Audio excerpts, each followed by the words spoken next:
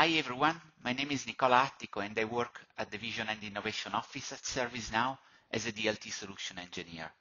I will present a POC of how ServiceNow can manage ecological assets and liabilities through an ESG ledger based on Hedera. I will also demonstrate a specific use case for renewable energy credits or RECs, which is a specific class of ESG assets. Standard ServiceNow Safe Harbor applies to this presentation.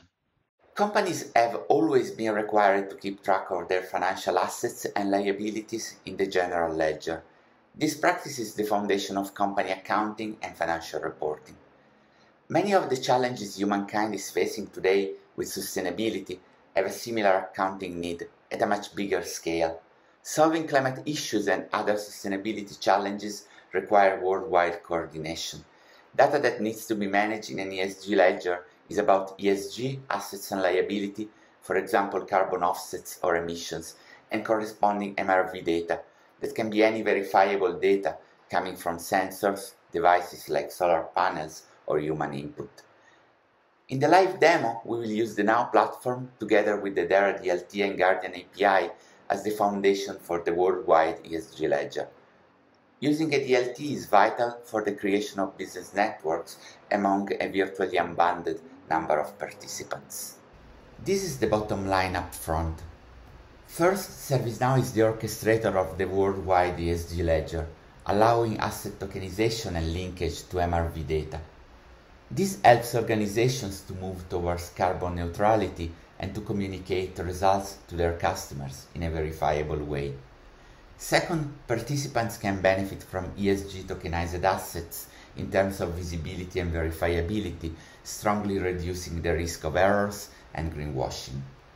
Lastly, this approach applies equally well to other policies like the GHG protocol or Verra, allowing customers to leverage the Now platform for the offsetting process end-to-end. ESG assets have been a substantial trend in environmental economics over the last few years. Carbon markets are believed to be instrumental in reaching net zero by meeting ESG assets demand and supply. Examples of assets include GHG emissions, offsets, carbon allowances, and renewable energy certificates, or RECs. These assets are also undergoing a process of tokenization. Why is that happening? Traditional ESG assets are not without flaws, and their fast growth is putting these flaws into the spotlight. Although companies are significantly investing, greenwashing and double counting is a common problem, being verification of this claim very difficult. Also, these assets are often treated as fungible, missing much information about their provenance. Tokenized assets using distributed ledger technologies address many of these criticalities. Tokenized ESG assets allow a verifiable link with the underpinning data and ecosystem participants in such a way that misrepresentation and misuse of these instruments is very difficult. Tokenized assets are measurable, discoverable, and more secure in a way that is visible to all parties. Let's describe a multi-party workflow for ESG assets. You typically have a branch of the process about emissions that are reconciled cross scopes along the supply chain and immutably disclosed on the ESG ledger as MRV data. Emissions are then tokenized in the form of brown tokens, which represent an ecological liability or debt. On the other branch, GHG reductions or avoidances are also immutably recorded as MRV data. Reduction or avoidances are then tokenized in the form of green tokens representing an ecological asset or credit. Company owning brown tokens can then acquire green tokens representing either a CO2 ton or a megawatt hour, that allows them to burn both tokens on the ledger with a transaction to verifiably represent the offset or retirement of the produced CO2. The process is constantly audited as a stream of data on the DLT. It can be audited using EI technique and also be subject to public scrutiny. In the live demo, we will focus on the green tokens minting for RECs. Many different participants characterize ESG business networks. These are some of the most frequent roles. An ecological project is the supply side, which want to demonstrate some reduction or avoidance of CO2. The buyer is the demand side, any company that is willing to offset its emissions. The registry is an institution overseeing the ecosystem and allowing the creation of tokens. Example of registries are Verra and golden standard. A validation and verification body is an organization authorized to audit the claims from the ecological project, analyzing MRV data like satellite images or by doing on-site inspections. An exchange is an entity that allows matching demand and supply, typically through a price discovery mechanism. A financial intermediary can be involved in the process to present these assets and may also allow off-the-counter transactions. For further investigation into the roles, I recommend reading the document Voluntary Ecological Markets by the Interwork Alliance. Let's see now the context for the live demo, a specific form of ESG assets called Renewable Energy Credits or RECs. What is a REC?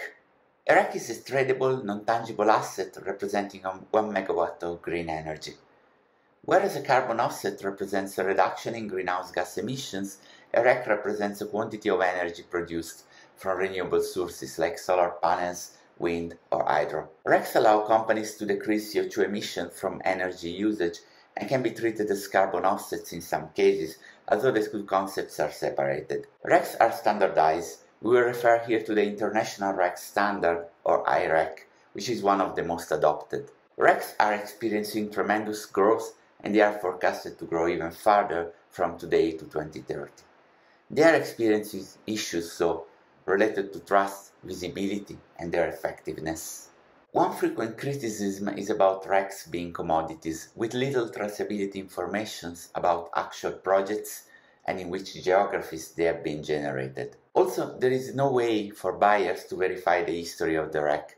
The entire system is based on central control by authorities, which is of course difficult to scale. This leaves parties exposed to the risk of errors, double counting, or greenwashing by parties that will try to circumvent or trick the system. We are going to see how to address these issues in the live demo. This slide represents the data model we are using for the live demo. The registry will be the IREC registry. On the left side of the data model, we see policies which are made by blocks and defined in the Guardian configuration UI. Some of these blocks will be minting blocks tied to an non-fungible token under which individual NFT instances will be created representing the RECs. On the right side of the data model, the user will be a company called SolarInc, producing green energy from solar panel installations. They will create an ecological project which must comply with the IREC standard. Under this process, they will create multiple devices representing the solar panels. Each device will generate issuance requests either automatically or manually. In the demo, we'll see the manual way. In the flow, we will see multiple on-ledger approvals which are made by the registry but could equally be made by a third party. This is the high-level architecture for this use case. The process is the flow represented here and involves the minimal number of participants, the registry and SolarInc. The steps we will see in the demo are user project and device creations, sending of MRV data, token association and user KYC, and finally REC minting. In another demo, we will go through the transfer and retirement of this token, which requires to cover first the carbon accounting flow. The Now platform manages all the ESG-related workflows speaking with the Guardian API. The Guardian API is a policy workflow engine for ESG driven by configurable policies which use best-in-class identity management and DLT libraries. IREC is one of these policies that define all the on-ledger steps that needs to happen to have a valid REC. The entire history of the REC is visible as the token chain of trust. Hedera is the layer 1 we use as part of the ESG worldwide ledger. Hedera is the ideal DLT for ESG use cases. There are many reasons for that performance, governance, economics. One that is especially close to our heart is being carbon neutral. It has been evaluated as the greenest proof of stake ledger by the Centre for Blockchain Technology of the University College of London. In this diagram, you see the number of watt hours per transaction for different proof of stakes, DLT, and other non-POS networks like Bitcoin or non-DLT networks like Visa. Hedera scores as the most green with 0.04 watt hours per transaction, lower than all the other networks. So, with that context, let's move to the demo environment. Okay, this is the demo environment. I will keep two browser windows open. The first one is related to the registry administrator, and the second one is related to Solar Inc., the company requesting the IREC. So as the registry administrator, I can see that there is already one registry defined in this instance, which is called IREC registry and managed by the user registry admin. This registry has a defined uh, account ID, a topic ID, and a, a DID, and has no parent, is a root authority. On the other side, the user called Solar Inc. Um, is tied to an account ID on Hedera as well as topic ID and DID, but also has a parent DID representing the fact that they are hierarchically uh, dependent and it depends on the root authority which we just defined. So as the root authority to set up the system, the first step is to import the policy. In this case, we are going to import a policy that is called IREC v2 and we submit. The policy has been imported, is currently in draft mode with some information, missing the version number because we need to publish it, but has the metadata assigned to it that allows to uh, track all the elements of the policy. We can open the policy on the Guardian uh, configuration UI, where we can see that the IREC policy, as every policy managed by the Guardian, is actually a policy workflow engine where all the steps define the process which is managed on the distributed ledger. This is where we can uh, modify the policy if we want to do any change or build one completely new. At the same time, within ServiceNow, we can uh, uh, parse the policy, which creates the same structure in read-only mode as policy blocks.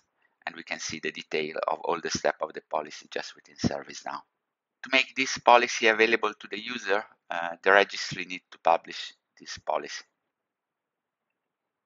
When the policy is published, it acquires a, a version number, 1.0 in this case, and is ready for users to subscribe. So now, as Solar Inc., a customer of the registry, I want to register my first solar panel project inside this registry.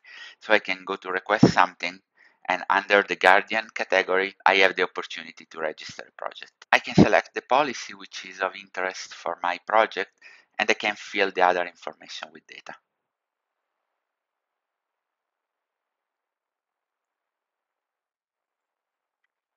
This information is minimal compared to the data actually required, but we want to keep it simple for this demo. Now we can submit. So you see here the project has been created with the data associated to that and the metadata regarding the DLT verifiable information. If we move then to the registry admin, we can see that under the policy now, the um, registrant project has been uh, created. So I can open this project verify the information which is related and approve it.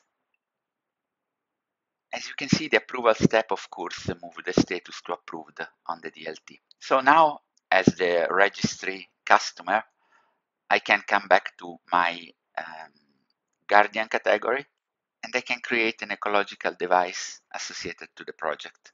So I can select the date of installation, for example, today, and I can attach this device to a specific policy and project. Then I'm going to fill all the other information. With this information filled, I can submit. As you can see, the device has been created with some data associated to it. Again, is in waiting for approval, and here you have the metadata for the device. When I came back to my um, registry admin, I can see that if I refresh my related list, now my device is there and is waiting for approval. I can review the information and associated metadata and I can approve the device. Now that my device is in status approved, there is another element that is important to highlight. Uh, as part of the policy import, there is a token that has been uh, created. If I click on my tokens, I can see the token name and the token ID. Now as the client project of the registry, I need to associate this token to my account and I also need to complete the KYC process. So I have a request to associate and do the KYC steps. The request in itself is very simple. It's just uh, required to fill the token ID and we can submit the request. We see here that the association of the user to the token has been automatically done, but there is a KYC step that needs to be uh, done by the registry administrator. So if I go to the registry admin again, I can have a look to all the token which I'm managing as re registry admin. And I see that Solar Inc. is associated with this token, but is not KYC yet, and they just sent a request. So I can open this record review all the required uh, information for the KYC and grant KYC to this project. Now that the user has been KYC'd to this token, uh, is in good shape to request the issuance of token for the uh, green energy they are producing. So becoming again uh, the um, Solar Inc. project, I can refresh this form and see that I just received the, the KYC here it is, and I can request the issuance for my first period of energy production. I have a form called request issuance where I can select my policy, uh, the project, and then the device, and then select the reference period for my green energy production and how many kilowatt hour I have generated. And as the project owner, I can hit submit. So my issuance request um, has been created uh, and this is related to 2 kilowatt hour, so 2 RECs, but it's still in waiting for approval. For the Guardian to mint the NFTs related to this 2 kilowatt hour, this issuance request must be approved by the registry admin. I switch to the registry admin window and under policies and device, I see my issuance request, which is waiting for approval. When I approve it, I can then go under tokens, select the policy token, and open the token on HashScan which is an Hedera DLT Explorer, and see that two tokens has been generated. Any user can then verify uh, through the policy the chain of trust for any minting activity. So here you can see that these two NFTs specific to the IREC token has been generated through a process that starts with the creation of the uh, registry and all the other activities that we have seen so far. Each one of them is time-stamped and signed by all parties. We can see the data here and the proof that allow verification of this data and the chain of trust for these two NFTs, which represent the IREC, involve only two parties, which is which are the registry and the Solar Inc. company, but they can involve as many parties as required by the ecosystem. This completed the demonstration.